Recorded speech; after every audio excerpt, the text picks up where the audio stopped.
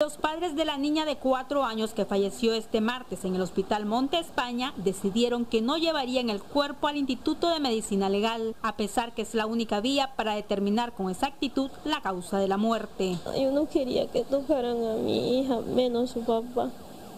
¿Cómo vas a enterrar a un hijo hecho pedazo? Eso te parte el alma.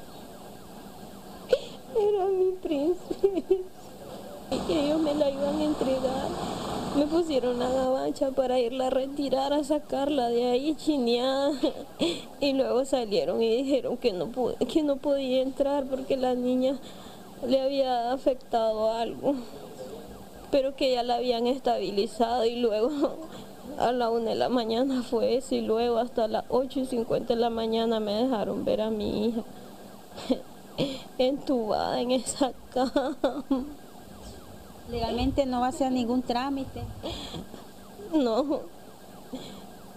No sé, no sé qué hacer. No, no, no sé qué hacer todavía. No sé. La familia tiene en su poder la constancia de defunción que indica que la niña fue operada de apendicitis aguda y al parecer se le administró un medicamento que le provocó la alergia severa, pero esta medicina no se detalla en el formato de defunción. Además se refiere que la paciente se complicó con un shock anafiláctico, un estado grave que puede causar daños al sistema circulatorio y otros órganos. Realmente lo está haciendo la, la, la marina ella, que es una abogada. Pero como ella dijo que no habláramos ahorita nada hasta que se hacía el procedimiento, ¿No ha conversado con su hermano? Que estar cerrado. Usted sabe que el, golpe, no, no se puede platicar con él, porque más se nos desmayó dos veces. Y estamos reanimándonos. que estaba a cargo de la bebé? Sí, desde que se la dejaron hasta el último momento que la llevó al hospital. Por segundo día consecutivo, Acción 10 solicitó la versión de las autoridades del Hospital Monte España, pero no fue posible. ¿Pueden tener una entrevista? Ahí tiene que ir allá en la entrada de ¿Una entrevista?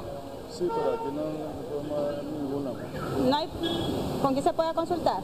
Familiares de la niña dieron a conocer que a las 2 de la tarde de este miércoles está programada una misa de cuerpo presente en la iglesia Corpus Christi de Vía Libertad. A las 3 el entierro en el cementerio Milagro de Dios. Claudia Rivas, Acción 10.